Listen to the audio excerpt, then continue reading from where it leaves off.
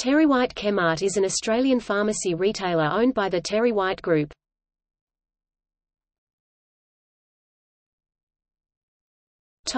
History Terry and Rhonda White opened their first pharmacy in Woody Point, Queensland in 1959. Their network of owned pharmacies grew steadily over the years, with the brand becoming well known and respected in community pharmacy in southeast Queensland. In 1994, they established one of the first pharmacy franchises in Australia, providing a comprehensive range of services to franchisees based on their successful retail pharmacy model. The Terry White Chemists franchise network continued to grow over the next 11 years and, in 2015, the group became the parent company of the ChemPlus brand. This took the total number of franchised pharmacies within the Terry White Group to 225.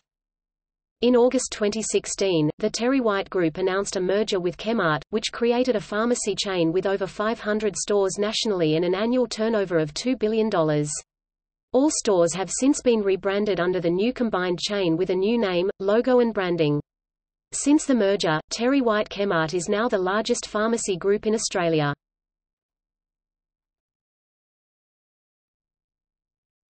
Topic: Controversy.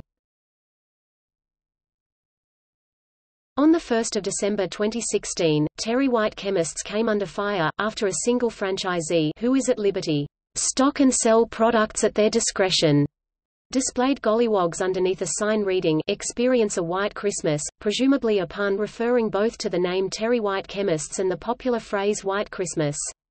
The alarm about the Gollywog dolls was raised when Toowoomba man George Helen spotted the dolls placed beneath the sign and posted a picture of it on Facebook and Twitter. Australian Aboriginal activist, author and filmmaker Stephen Hagan described Toowoomba as the most racist city in Australia.